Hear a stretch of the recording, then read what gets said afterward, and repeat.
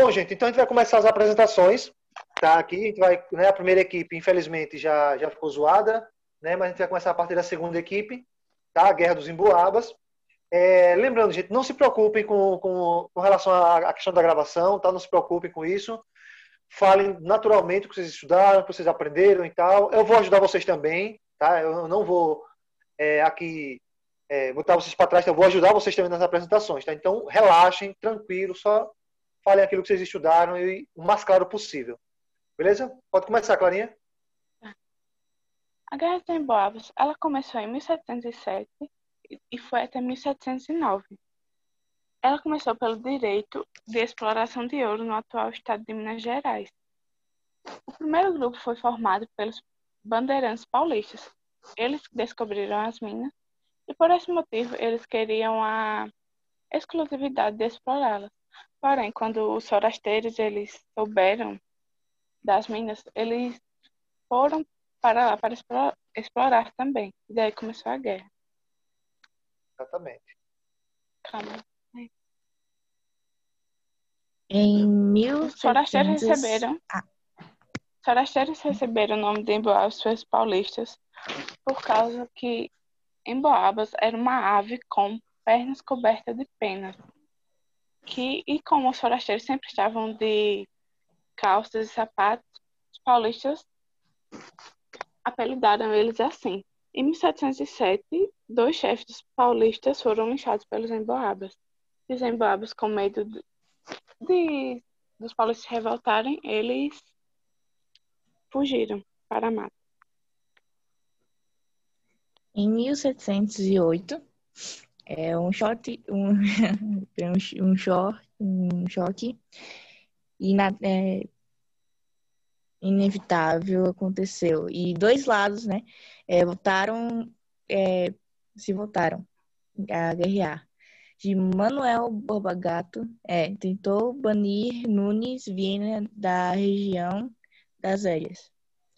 Aí não deram certo. Eles tentaram várias tentativas e todas deram erradas. Aí os emboabas é, tomaram a iniciativa, sabe, de desarmar todos os paulistas que eles viam pela frente. O maior e emblemático é, episódio da guerra dos emboabas ficou perturbado na história como Capão da Criação. Após a derrota dos paulistas na Batalha Campal da Cachoeira do Campo, esses é, ergueram e foram instados com a pena de se, de se retirarem da região das minas. Exatamente. É, gente, quando vocês terminarem, tá? Não, não tira o slide de vez, não, tá? É, vocês têm alguma coisa para continuar ainda? Vocês vão comentar mais alguma coisa? Não, era só isso. Não. Certo, só um minutinho. Ah, não cancele não, viu, o slide. Né? Porque aí já, já faz o complemento da, da, da apresentação.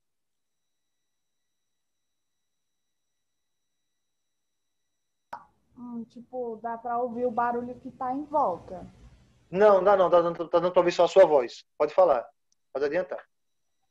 Ah, sim é por causa que eu tenho que fazer algumas coisas à tarde, que eu tenho que ensinar para o meu irmão e tal, então só for de manhã. Certo, então assim, mas então, então deixe, né? Então você não precisa apresentar não, já que está meio complicado para você apresentar aí, então não tem problema não, certo? Então é, encerra aqui a apresentação, tá? É, eu queria, Clarinha, meu amor, por favor, volta para aquele slide, é, volta aí um pouquinho para me ver aqui, volta mais, é... Volta só para o outro slide, além disso aí. Pronto, aí mesmo. Gente, olha só, resumidamente, tá? Ah, inicialmente, tá? Parabéns aí pela apresentação, tá? A Clarinha e a Luísa conseguiram resumir bem. Vocês viram que não são revoltas grandes, né? Não tem tanta coisa assim para falar, né? Então, rapidinho você consegue desenrolar ela, certo? Então, basicamente é o seguinte.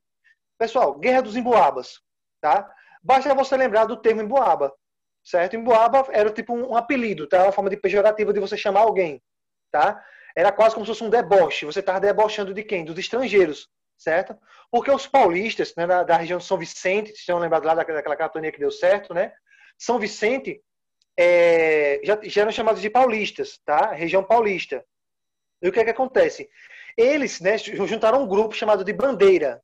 Tá? E quem fazia parte das bandeiras, que eram vários grupos né, de desbravadores, quem fazia parte das bandeiras era chamado de bandeirantes. Certo? Bandeirantes. Tá? E os bandeirantes, qual era o objetivo deles? Era recuperar, né, era caçar alguns índios que fugiam né, da, da escravidão ali, caçar alguns índios, prender alguns índios e principalmente desbravar novas terras. Certo? Desbravar algumas terras. E foi nesse momento que eles acabaram encontrando a região de Minas Gerais. Só um detalhezinho importante, gente, aqui, é que a região de Minas Gerais pertencia à Espanha. Entendeu? Se você for observar lá o Tratado de Tordesilhas, né? A, a, aquele tratado que foi dividido entre Portugal e Espanha, você vai observar que essa região das, de Minas Gerais pertencia à Espanha, não era de Portugal. Mas mesmo assim, os brasileiros foram lá e roubaram a terra, né? Bem clássico, né? Do, do, do brasileiro ir lá furtar o que não é dele, né? Então eles invadiram a terra dos, do, dos, dos espanhóis, né? encontraram Minas Gerais ali, e eles começaram a explorar o ouro, tá? E um detalhe legal, gente, é o seguinte, que é, esses estrangeiros, esses forasteiros que levaram o nome dos Emboabas, eram os portugueses.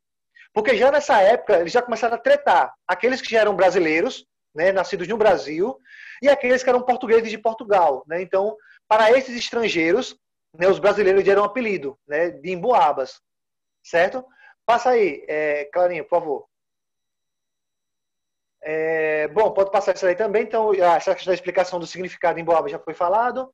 O Borba Gato aqui, né? Ah, ele foi um dos líderes ali da, uma das principais batalhas. Pode passar também. Eu quero falar daquela batalha. Essa daí, ó. Né? O Capão da Traição, gente. O Capão da Traição era tipo uma serra, tá? E foi lá no Capão da Traição que houve uma das maiores batalhas, tá? Aí entre os emboabas, no caso os portugueses, certo? Os estrangeiros portugueses, tá? E os, os paulistanos, certo? No fim das contas, né? Sim, no fim das contas, entre aspas, né, os paulistanos venceram a batalha, mas não foi essa vitória toda assim, acabaram fazendo um acordo que era melhor, né? Para poder dividir a região de Minas Gerais. E foi a partir desse momento, gente, aí, que começa um, um novo ciclo econômico do Brasil. Tá? Por isso que eu queria que vocês apresentassem antes de a gente começar o novo ciclo brasileiro. Porque depois do ciclo do açúcar, né, o ciclo da cana-de-açúcar, nós já vamos entrar no terceiro grande ciclo econômico, que é qual? A mineração. Certo? Bom, gente, então é isso. Tá? Isso isso aqui que eu queria é, acrescentar para vocês.